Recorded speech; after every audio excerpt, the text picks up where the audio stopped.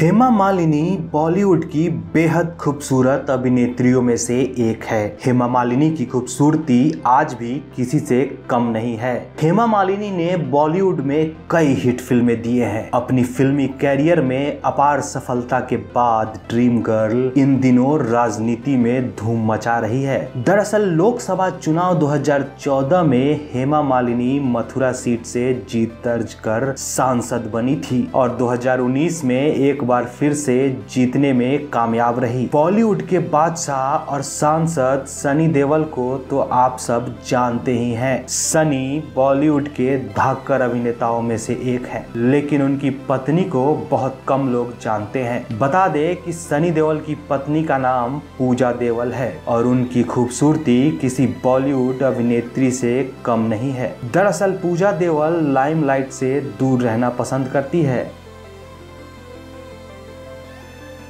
तो वहीं बॉबी देवल भी बॉलीवुड के जाने माने एक्टर हैं और उन्होंने भी बॉलीवुड में एक से बढ़कर एक फ़िल्में दिए हैं। फ़िल्म रेस थ्री से बॉबी देवल फिर से बॉलीवुड में लाइमलाइट में है। आपको बता दें कि बॉबी देवल की खूबसूरत पत्नी का नाम तान्या देवल है। बॉबी देवल और तान्या देवल की शादी उन्नीस सौ छियानवे में हुई थी। तान्या देवल भी बेहद खूबसूरत है। तान्या देवल भी लाइट कैमरा एक्शन से दूर रहती है। वैसे सनी देवल के राजनीति में आने से आप खुश हैं या नहीं, हमें कमेंट करके ज़रूर बताइए। Bureau report O M H news